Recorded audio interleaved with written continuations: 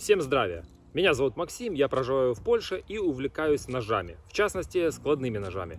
И на моем канале можно найти кучу информации на эту тему. А сегодня я хочу поговорить о том, какие ножи разрешены в Польше, какие запрещены. И в общем о ножевом законодательстве здесь. И сразу скажу, что я не являюсь официальным источником. Я нашел эту всю информацию в интернете, в частности на государственных сайтах, но все равно, если вас конкретно, детально все это интересует, эта тема, вы планируете тем более как-то приезжать в Польшу со своим добром или увозить его отсюда, то лучше вам обратиться в государственные источники. Как минимум почитать все это на тех же их сайтах. Потому как по роду своей деятельности я очень часто сталкиваюсь с людьми, которые насмотрятся различных блогеров в фейсбуках, в ютубах, во всяких тиктоках и потом рассказывают остальным, как нужно делать. Хотя это в корне неверно. И таким образом они создают проблемы мало того, что себе, так еще и другим людям. Повторюсь, всегда и везде ищите информацию только в официальных источниках тех стран, вопросы которых вас интересуют. И давненько я хотел записать это видео, а подтолкнули меня к нему комментарии на тему этого ножа Cold Steel T-Lite 6.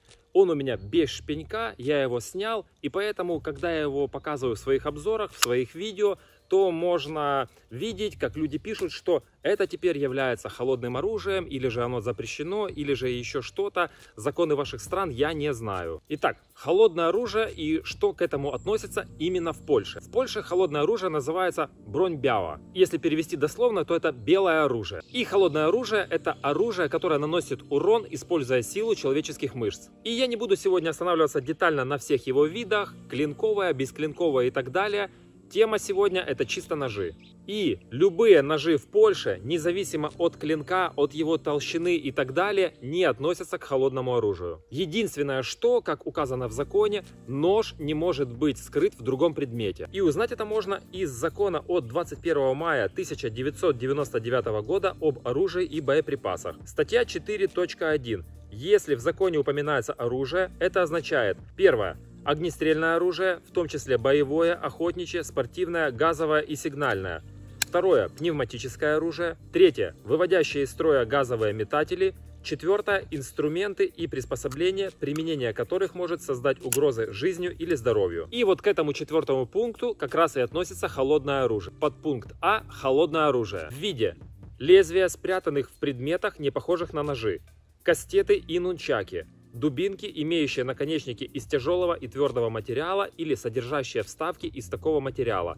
Палицы из дерева или другого тяжелого и твердого материала, имитирующие бейсбольную биту. Б. Тетивное оружие в виде арбалетов. В. Предметы, предназначенные для вывода людей из строя с помощью электричества. И на все это вышеперечисленное требуется разрешение. Также в этом законе поясняется про электрошокеры, про бейсбольные биты, что к этому относится, что нет. Опять же, я на этом не акцентирую сегодня внимание. И из этого следует, что на все другие виды холодного оружия, не указанные в законе, разрешение не требуется, все граждане имеют к нему свободный доступ. И опять же повторюсь, что нож, независимо от длины, толщины клинка, упоров, складной, нескладной, автоматический и так далее, не является холодным оружием. Также в свободном доступе Помимо ножей, есть мечи, сабли и так далее, которые вы можете приобрести без разрешения. Но, естественно, это не означает, что вы можете их носить везде и всегда. Если вы будете идти с катаной по центру города, в людном месте или же на стадионе, то это, ну, как минимум вызовет много вопросов и интерес органов правопорядка. И еще интересный момент по огнестрельному оружию.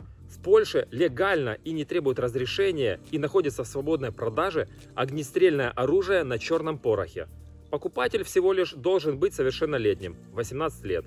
Где и как его хранить и использовать я не узнавал, так как это меня не интересует. Поэтому в Польше можно приобретать любой нож и не переживать о его легальности. Хоть это будет Glock 78 или же Cold Steel SRK, которые являются холодным оружием и требуют дополнительного разрешения в ряде стран и так далее, включая различные автоматические ножи, полуавтоматические и прочее, прочее, прочее. Не замеряют ни упоры, ни все остальное, ни твердости по роквелу клинков. Единственное, что, как указано в законе, Нож не может быть скрыт в другом предмете. Это по типу как, к примеру, расческа, а в ее рукояти, если вытащить, находится клинок. Или же трость с клинком внутри, или же какой-нибудь зонтик с клинком в рукояти. Нож должен быть ножом и не маскироваться под другой предмет. И еще важное дополнение.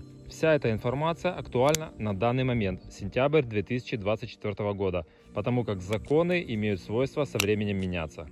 И я считаю, что в Польше закон, который касается ножей, максимально лояльный к людям. Далеко не все страны в Евросоюзе, в Европе имеют такие разрешения. Очень часто в различных странах, да и даже в их регионах, если взять США, например, могут быть различные ограничения. Могут быть запрещены ножи с одноруким раскрытием, или же ножи с замками, или же ножи по какой-то определенной длине клинка. Поэтому, прежде чем куда-то отправиться, обязательно изучите законодательство той страны. Узнайте правила перевозки в пограничных пограничных службах и или авиакомпаниях. На этом на сегодня все. До встречи в следующих видео. Конец связи.